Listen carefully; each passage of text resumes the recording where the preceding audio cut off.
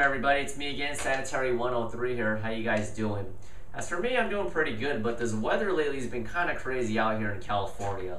Last week it was uh, raining, a little bit of overcast, and the last couple days it's been uh, pretty hot, so it can't really make up its mind. And I don't have air conditioning in here, so hopefully I won't be too sweaty during this video. I think I'll manage. But enough with that. Anyways, in my hand right here, I have a quick healthy snack option, and that is from World's Kitchen Kitchen's brand uh, beef jerky right here, original flavor. There are a lot of other brands out there on the supermarket, uh, Oberto, Jack Links, etc., etc. This one tastes overall pretty good, and I'm gonna give you the, the macros on this. For one ounce, it has 80 calories. It has one gram of fat, only 20 milligrams of cholesterol, six carbohydrates, and 12 grams of protein. So you're getting double the amount of protein to carb, which is a two to one protein to carb ratio, which is really good. So this overall is pretty low in carb. It's a good snack. It doesn't spike your insulin as high as, you know, having a piece of candy, a donut, stuff like that. So overall, it's not bad. However, on a scale from 1 to 10, 10 being the seal of approval, I give it about, you know, a 7 or an 8. Pretty good.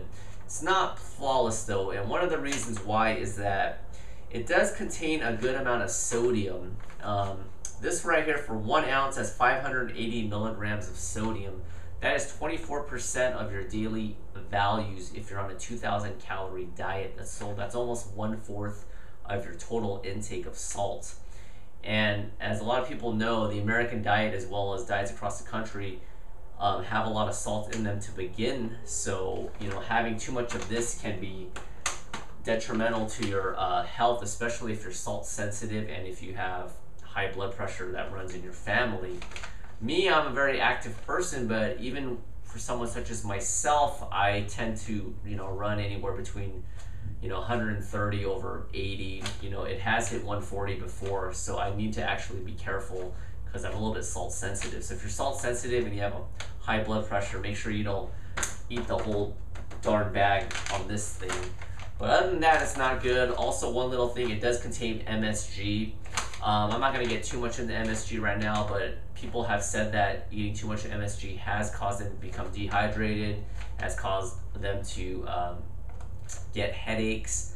Personally, with me, I have not experienced that. Um, I've eaten uh, ramen noodles many times, and that does have some MSG. It's not the healthiest thing, but hey, I'm human. I gotta have my noodles and I never really had a headache, so I don't know if that's more of a placebo or if it is the MSG or combination. But anyway, everything in moderation, right? So go to your local store, pick up some beef jerky. Beef jerky is a little bit expensive um, if you're on a budget. Out here in the States at least, I think it's like $5.99 for a smaller package of this. But if you just eat a couple of pieces here and there, it might last you quite a while. Alright, that about wraps it up. Thank you for watching another video, and uh, we'll do it again next time. Bye.